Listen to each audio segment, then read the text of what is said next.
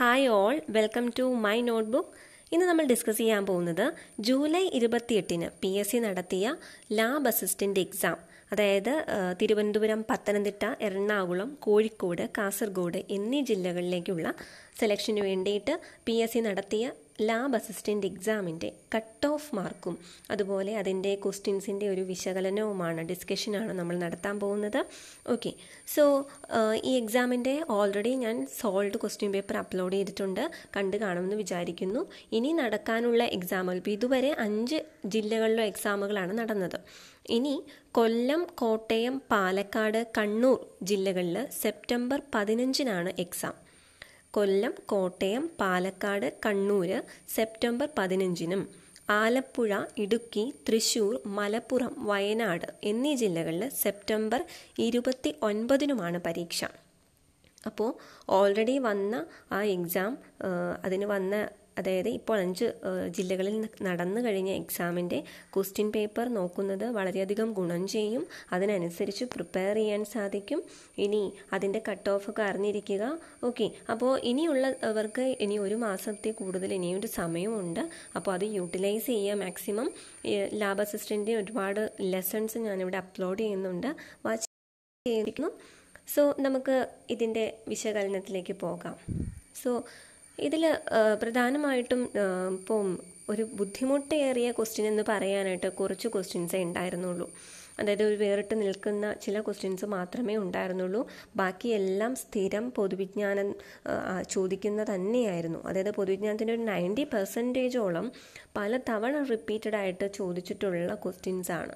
പലതവണ റിപ്പീറ്റഡ് ആയിട്ട് തന്നെ ചോദിച്ചിട്ടുള്ള ക്വസ്റ്റ്യൻസ് ആയിരുന്നു. അതായത് ഇപ്പോൾ ഒരു ഒരു കുറച്ചെങ്കിലും പ്രിപ്പറേഷൻ നടത്തിയിട്ടുള്ളവർക്ക് ഫിഫ്റ്റി പെർസെന്റേജ് ആൻസർ എന്തായാലും ചെയ്യാൻ സാധിക്കും. ഇനി ചിലർക്ക് ഏഹ്, കുറച്ച് ചില ഡൗട്ട്സ് വന്ന ചില ക്വസ്റ്റ്യൻ എന്ന് പറഞ്ഞാൽ കാറ്റിന്റെ പ്രവർത്തനത്താൽ രൂപപ്പെടുന്ന ഭൂരൂപം ഏതാണ്? വചന സാഹിത്യം ഏത് ഭാഷയിലേതാണ്? അല്ലെങ്കിൽ വിദ്യാഭ്യാസത്തിന് പ്രാധാന്യമുള്ള നഗരം ഏത്? ജെയിംസ് ഡാറ ഏത് രാജ്യക്കാരൻ ആയിരുന്നു?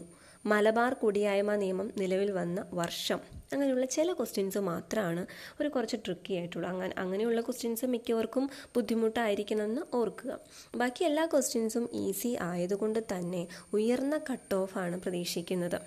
ഇപ്പോൾ നമ്മുടെ തിരുവനന്തപുരം എറണാകുളം കോഴിക്കോട് ജില്ലകളിൽ എഴുപത്തഞ്ച് വരെ കട്ട് ഓഫ് മാർക്ക് ഉയരാൻ ചാൻസ് ഉണ്ട്.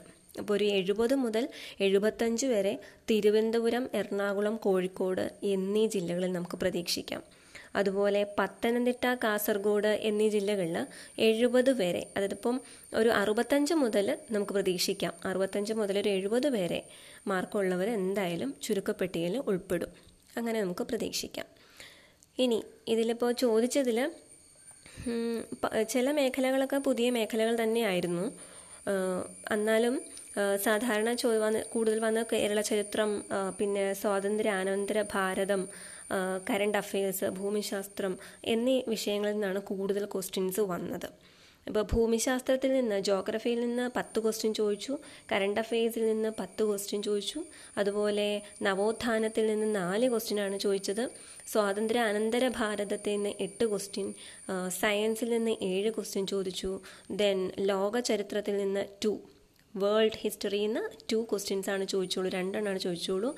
അതുപോലെ Indian constitution and political politics അതിൽ നിന്ന് നാല് ക്വസ്റ്റ്യൻ ആണ് ചോദിച്ചോളൂ. പിന്നെ സാമ്പത്തിക രംഗത്ത് നിന്ന് രണ്ട് ക്വസ്റ്റ്യൻ ഓക്കെ ഭൂമിശാസ്ത്രം പത്ത് കറണ്ട് അഫയേഴ്സ് പത്ത് നവോത്ഥാനം നാല് സ്വാതന്ത്ര്യാനന്തര ഭാരതം എട്ട് ലോകചരിത്രം രണ്ട് ഭരണഘടന നാല് പിന്നെ കേരള ചരിത്രം പത്ത് പിന്നെ സാമ്പത്തിക രംഗം രണ്ട് എന്നിങ്ങനെയാണ് ചോദിച്ചത്. അപ്പോൾ ഇതൊന്ന് കമ്പയർ ചെയ്തിട്ട് നമുക്ക് അടുത്ത എക്സാമിന് വേണ്ടിയിട്ട് പ്രിപ്പയർ ചെയ്യാം.